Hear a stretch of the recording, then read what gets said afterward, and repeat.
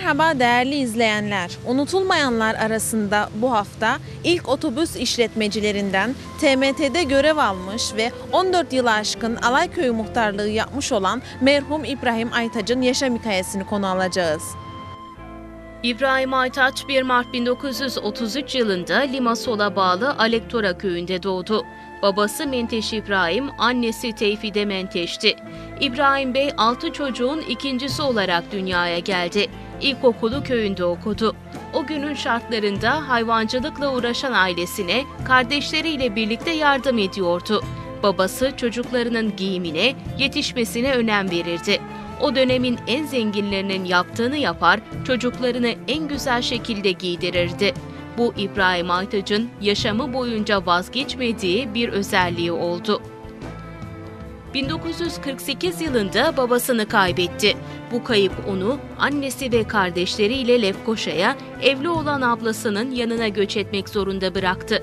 Önce amcası Kamil Mehmet'in yanında çalıştı, döşemeciliği öğrendi. Daha sonra bir fırında çalışmaya başladı. O günün şartlarında iyi bir kazanç elde edeceğine inanarak Süveyş kanalında çalışmak üzere Mısır'a işçi olarak gitti. Fakat oradaki şartlar uygun olmadığı için kısa bir süre sonra ülkesine geri döndü. Bir müddet fırıncılık ve kunduracılık yaptı. 1953 yılında Pembe Emir'le hayatını birleştirdi. 1955 yılında İngiliz komandosu olarak göreve başladı. Bu arada ilk çocuğu Menteş dünyaya geldi. İbrahim Aytaç İngiliz askerliği döneminde pek çok eğitim görerek kendini geliştirdi ve rütbe aldı. İyi derece İngilizce biliyordu. Bu dönem zarfında Baf kazasına tayin oldu. Kıbrıs Cumhuriyeti kurulana kadar Baf kazası ve köylerinde görev yaptı. Bu görevini icra ederken aynı zamanda TMT'ye hizmet veriyordu. Kıbrıs'ta İngiliz idaresi bittikten sonra İngiliz ordusundaki görevlerine son verildi. Yeni bir hayat başladı onun için 1960-1963 yılları arasında bir taksi satın alıp şoförlük yaptı. 1963 yılında olayların patlak vermesiyle mücahitlik görevine takım komutanı olarak başladı. 1964 yılında Arçoz, Meluşa ve Tremeşe köylerine takviye olarak 34 kişilik bir ekiple gitti. Bu ekip oraya gitmekle öyle bir yankı uyandırdı ki o bölgenin Rumlarının köylere saldırmalarını engellemiş oldu. Bu onun ve arkadaşlarının ne kadar yürekli ve cesur olduğunun bir göstergesiydi. O dönem birliklerde hem okuyup hem mücahitlik yapan pek çok er vardı. İbrahim Bey erlerine hem abi hem de baba gibi davrandı. Sırasında nöbetlerine tutup ders çalışmaları için zemin sağladı. 9 yıl mücahitlik görevini icra etti. Mücahitlik dönemi boyunca eşi de çalışmış, çocuklarına bakmıştı. Altı çocuk sahibi bir babaydı artık ve çocuklarına bakması gerekiyordu. Vatani görevini layıkıyla yaptığını ifade ederek 1972 yılında terhisini istedi. 1968 yılında bir otobüs satın alıp Ortaköy Göçmenköy Lefkoşa hattında sefer yapmaya başlamıştı. Otobüs işletmeciliği o dönemin en iyi işiydi. İşini en iyi şekilde icra ettiği için de bölgede seviliyordu. 1974 yılında Kıbrıs Barış Harekatı başlayınca mücahitlikte bulunduğu görevine geri döndü. Cephede bu kez oğluyla beraber çarpıştı. Ateşkesten sonra elçiliğe çağrıldı. Eski adı Yarulakko olan köyü yerleşime açması için görevlendirildi. 14 aileyi de yanına alarak köye gitti. Pek çok ailenin en iyi şekilde yerleşmesini sağladı. Yerleşim olduktan sonra köyün ilk muhtarı olarak seçildi. 14 yıl bu görevi de bir fiil icra etti. Köyün eski adı değişmeliydi. İlk olarak köye Yarolakko'nun Türkçe karşılığı olan Eski Kuyu adı verildi. İsimden rahatsız oldu ve çevresiyle görüşerek köyün adını Alayköy olarak değiştirdi. Köyün otobüs işletmeciliğini 1995'e kadar icra etti ve işi evlatlarına devretti. Çalışma azmi sayesinde bir sürede taksicilik mesleğini sürdürdü. 65 yaşında emekli oldu. 2012 yılına kadar kahve çalıştırdı, hayvancılık ve çiftçilik yaptı. Eşini kaybettikten 6 ay sonra kanser olduğunu öğrendi. 9 aylık bir savaştan sonra 4 Nisan 2013 sabah saat 9'da ömür bıraktı. Her koşulda ailesi ve köy sakinlerinin yardımına koştu. Cömert, asil, beyefendi, saygın bir kişiydi. Babam eee, çok iyi bir insandı. İnsanlara karşı davranışı çok olguncaydı. Herkesi olduğu gibi kabul eder, iyi davranmasını becerirdi. Fazla sinirlenmezdi. Sinirlendiğinde de eee, hiddeti eee, sert olurdu. Eee, bunun dışında taşımacılık yaparken eee Alayköy'de bir evde üç kişi giderse birine para aldırmazdı. Ve şunu söylerdi daima, kimisinin parası kimisinin duası babam derdi. Biz de o e, kültürde otobüsçülük yapmaktayız şimdi. Yani herkese iyilik yapardı. Mesela bir yabancı Alayköy'e geldiğinde ve kapımıza gelirdi. O yabancı kim isterse olsun e, onu mutlaka o akşam bir yerde yatırır, yedirir, içirir, öyle gönderirdi. Yani bu köye gelip de kahvesini içmeyen veya bu köyde ekmeğini yemeyen kimse yok yani. Onun için babam rahmet olduğunda, rahmetlik olduğunda bizden çok alay köylü ağladı. Bu da bizim için büyük bir gurur vesilesiydi. Ben babamdan gurur duyarım. Yani her zaman için e, TMT'de çalıştı. 10 yıl mücahitliği vardır. Bu Arçoz, Meluşa, Tremeşe köylerine 30-34 mücahit gittiler. O köyleri e, savundular. Herkes o köylerdeki insanlar e, bu insanlardan bahsederken e, senin de baban bizi geldi korudu derken aynen gene bir kahraman olarak babamı görür, gurur duya- duyarım. Her zaman da içimizde bir kahraman olarak kalacak.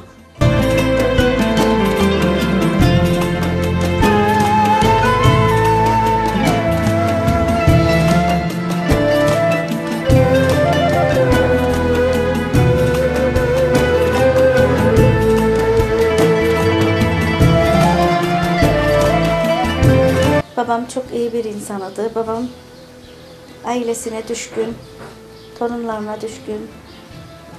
İyi bir insanıydı. Köyde sevilen, sayılan insanıydı.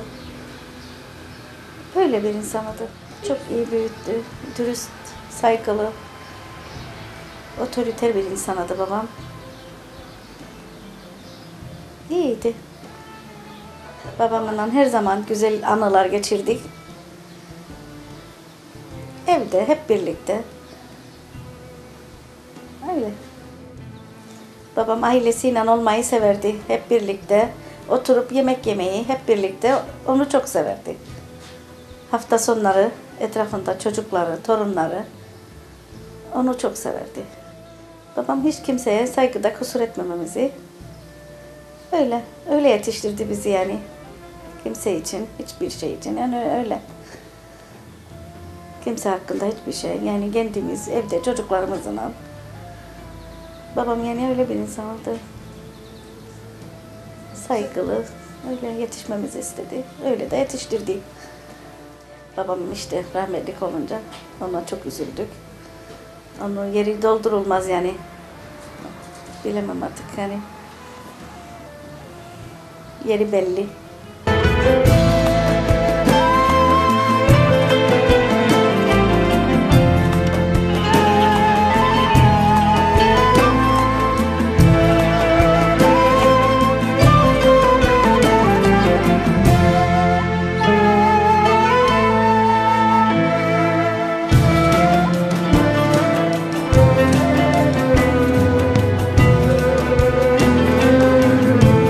Tabii 1955'ten 60'a kadar babam e, İngiliz kumandosu olarak görev yaptı. E, Cumhuriyet dönemi kurulduktan sonra e, bu insanları sokağa bıraktılar. Bu sokağa bırakmada babam da taksiciliği seçti ve taksi aldı. 1960'tan 63'e kadar taksicilik yaptı. O arada olaylar olduktan sonra e, mücahit takım komutanı olarak mücahitlik görevinde 9 yıl bulundu. O süre içerisinde taksicilikten taksicilik işi olmadığından e, otobüs aldı ve Ortaköy Göçmenköy arası e, otobüsçülük yapmaya başladı. 1971 yılından sonra da 74 yılına kadar 3 yılda e, yaklaşık e, 80 kadını güzel yurda, bahçelere ekim e, şey pardon e, portakal kesimi için götürdü, çalıştırdı, ödedi. İnsanlar e, mutlu etti. Herkese ekmek dağıttı. E, biz kendimizi bildiğimizde e, bizden fazla babam halkla ilişkiliydi. Yani halka yardımseverdi. Biz biraz arka planda kalırdık. Ama o daima söylerdi. Öncelikle insanlar sonra e, sizler. E, bundan da biz mutlu olurduk. Daha sonra 74 yılında e, biz Ortaköy, Göçmenköy arası otobüslerimiz vardı, çalışırdık. E, elçilikte bir toplantı oldu.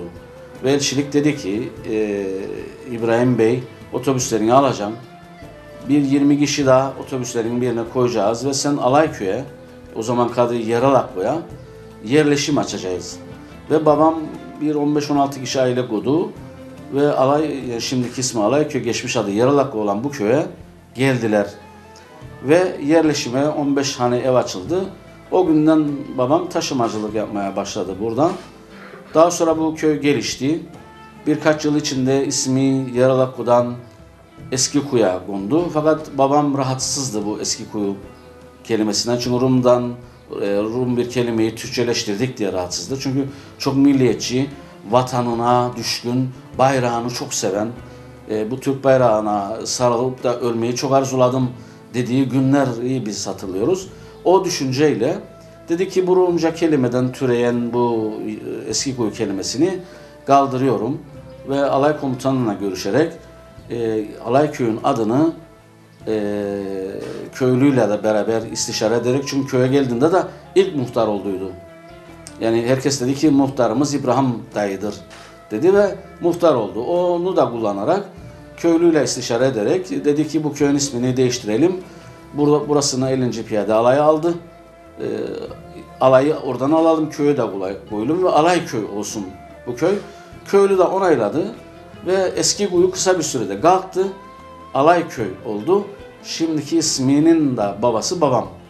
Yani bu köyün isim babası da babam. Ee, ve her zaman da bundan biz söylendiğinde mutlu olduk. Ee, babamızın baktığı bazı e, güzel şeyleri kabullenerek e, mutlu olma yolundayız yani.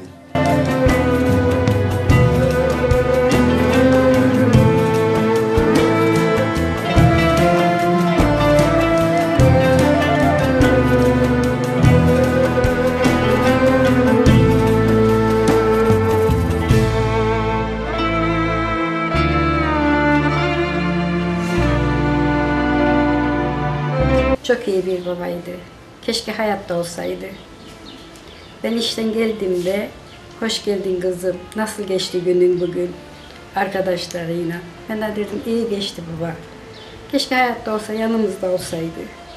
Hiçbirinin kalbini kırmak istemezdi. Hep bütün bu köyün insanları çok severdi. Hiçbirinin için kötülük düşünmedi. Ölümüne kadar. Başka bir şey. Çok iyiydi. Torunlarını çok severdi. Bir kişi gelmese torunlarından bugün ne için gelmedi? Bir ufaklık var Fevzi. Ne zaman gelecek kızım derdi. Ne gün getirecek kendi annesi. Derdim günüdür gelecek. Çok sever torunlarını. Çok iyi yetiştirdi. Hiçbir tokadını yemedik. Yani 55 yaşındayım. Bir acı sözünü duymadık. Altı kardeşik. Altımıza da çok iyi baktı. Yani hiç acı sözünü duymadık şimdiye kadar. Ölene kadar yani. Hiçbir şey konuşmadı son günlerde. Hep sessiz kalırdı. Bir şey, hiçbir yere üzülmeyin kızım derdi. Ben öleceğim derdi. Üzülmeyin. Ama babadır ne kadar da olsa insan üzülür.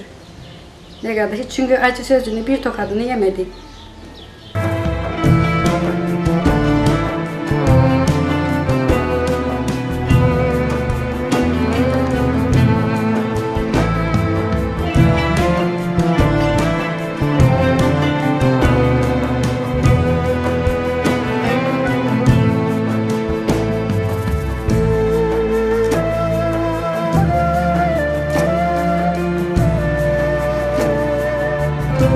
Babam 60 yaşına geldiğinde emekli olmak istedi. Fakat sosyal sigortası öyle birkaç günlük yatırım olduğu için e, dediler ki emekli olamaz e, muhtar o günkü günlerde. Fakat biz e, bir yasa değişikliği olduydu o günlerde ve biz borçlandık. Babamın emekliliğini yatırdık ve e, yani normal herkes gibi o da bir emekli oldu. Bir emekli aylığı vardı. E, yalnız tabii emekli aylığını çoğu zaman aldığında da e, bir fakir varsa ona giderdi. Derdi bu 100 lira desen al ya bu 50 lira desen al. E, kendini idare et. Yani böyle de hareketleri vardı. Son zamanlarında hayvancılık da yaptı. Yani son zaman derken yani bu köyde geldik geleli hayvancılıkla da uğraştı. Ee, ama son dönemlerinde bir 20-25 tane koyunu vardı. Mandırasında biz hala tutarak bakıyoruz. Ee, bir hayvan sevgisi de vardı babamın. Çok müthiş bir hayvan sevgisi vardı. Çünkü e, olduğu köyde zamanında e, dedem çobandı diye. Yani doğduğunda hayvanı tanıdığı için her zaman o hayvan kokusunu almam lazım derdi. Ve hayvancılığı son dönemlerimize kadar yaptı. Hatta e, koyunların birkaçını sigara içmeyi alıştırdıydı. Yani çekerdi sigarayı, affedersiniz yani öfürürdü koyuna ve koyun çekerdi, hareket ederdi. Daha sonra koyun bir daha gelirdi. Yani sigara kokusunu duyar duymaz gelirdi. Bazı koyunlara ekmek yedi, yedi, e, yemeye alıştırdı. Cebinde ekmek götürdü ona. Verirdi. Çağırdılar, çağırdım isim bazında bu hayvanlar koşturarak babamın yanına gelirdi. E, böyle hatıralar var.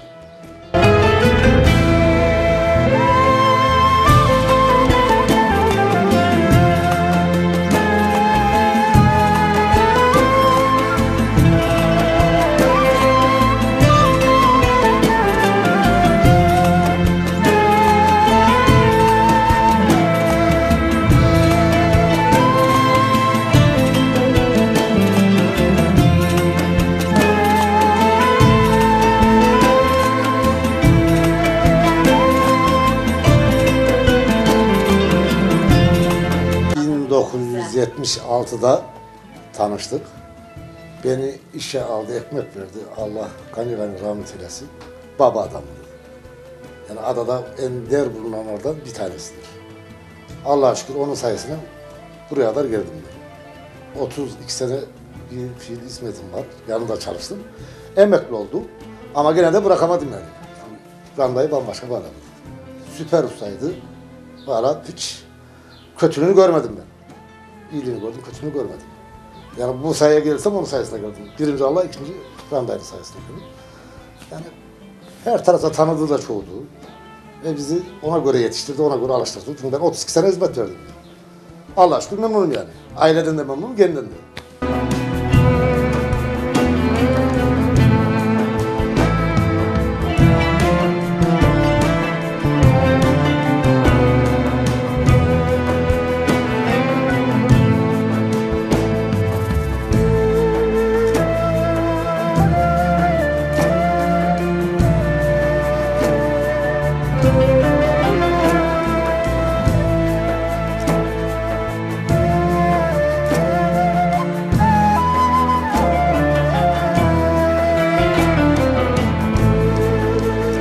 İkinci sınıf ve birinci sınıfa giderdik. Bizi her gün sabahtan e, kendi taksisiyle, ticari taksisiyle gelir alırdı bizi evden. Okula götürürdü. Yani ilk artık kendimizi orada tanıdık onunla birlikte. Ve e, yaklaşık 2 yıl, 3 yıl bizi okula götürdü, getirdi. Tabi ondan sonra biz büyüyünce otobüslere binip devam ettik. İlk e, tanışıklığımız dedemle orada başladı. E, tabi yıllar geçtik sonra bize e, en önce doğruluğu, dürüstlüğü ve e, iyi niyetliği öğretti. Ve e, her zaman söylediği bir e, kelime vardır. E, insanları her daim seveceksin. Onlar e, sana kötülük de yapabilir, şey de yapabilir ama e, onları ilk önce seveceksin. Ha, eğer sevgiyi kabul etmeyen bir insan varsa onunla da fazla e, ilişki kurmayacaksın. E, bize bu yaşıma kadar bana en öncelikli şeyler bunlardı. E, geçmişten gelen bir e, şoförlüğü vardı, otobüs şoförlüğü. Onu da bize bir hediye olarak bıraktı. Bu zamana kadar e, geldi.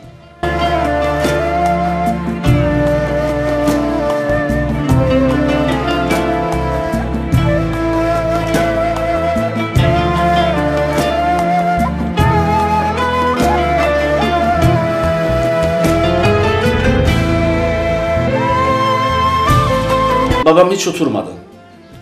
Babam emekli olduktan sonra bir müddet taksicilik yaptı. Tilli arabası vardı. Taksicilik yaptı. Şimdi oğluma ölmeden oğluma hediye etti ismidir diye.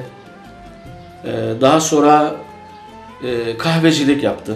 Son zamanına kadar yani rahatsız olduğu günün belirtisi olduğu güne kadar kahvecilik yaptı. Kahve kapalıdır. E, geçerken göreceksiniz zaten. E, resmi de içerisinde resmini koyduk. Kahveyi kapattık. Kiralamadım da. Onun hatıraları değişmesin diye. E, kahveyi de kiralamadık. Öyle kapalı durur. E, yani hiç babam oturmadı. Hayatı boyunca çalıştı.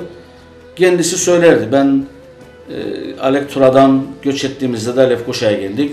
Kuyuculuk yaptım, fırıncılık yaptım, e, hammalcılık yaptım dedi. Son İngiliz askeri, İngiliz işçisi oldu ve şeye gitti. İsmailiye nedir? Bu Kahire'de. Kahire'ye gitmişler.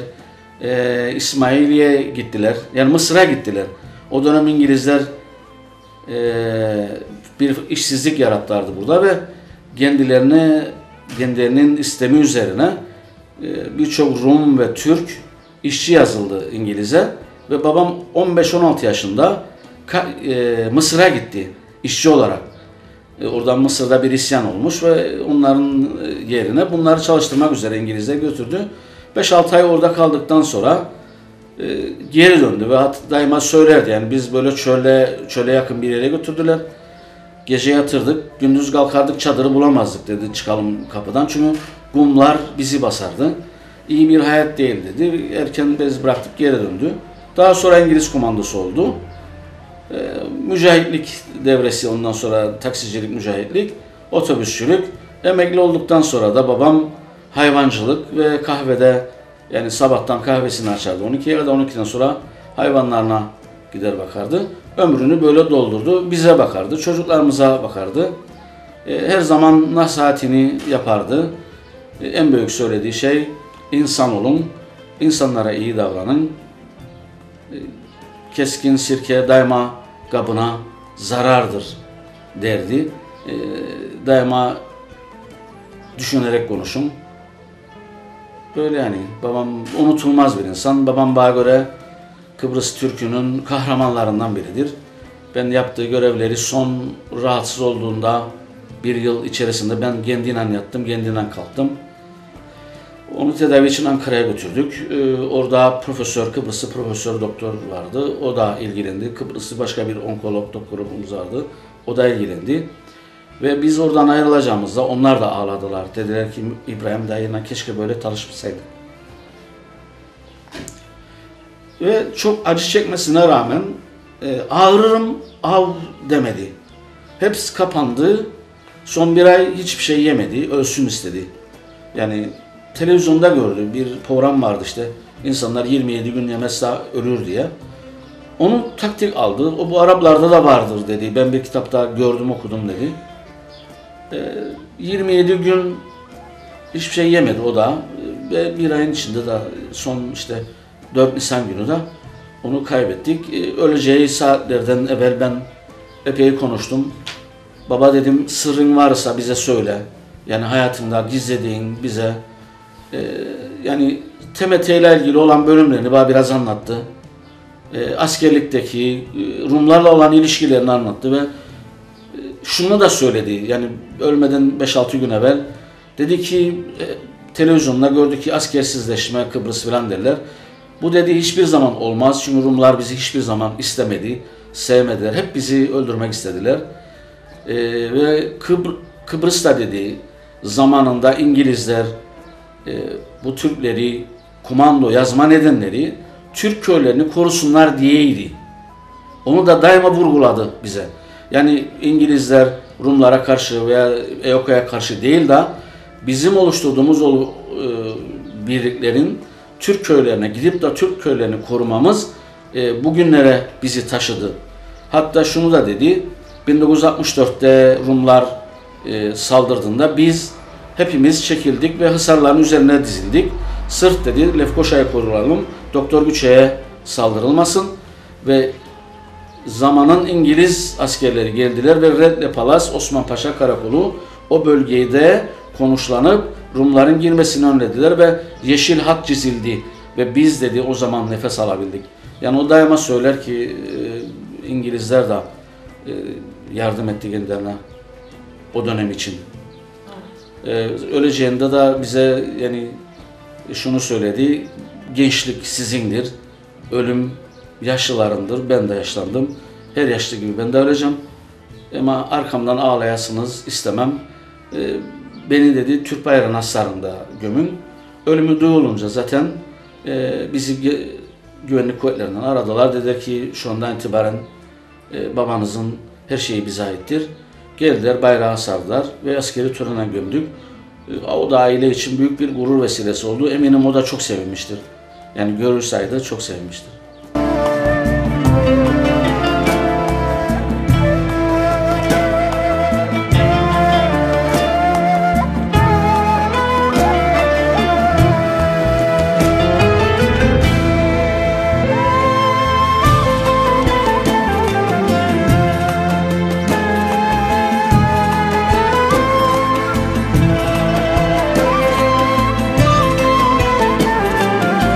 Babam özledim. Gelsin. Babamı seviyorum. Babamı hep annen gibi.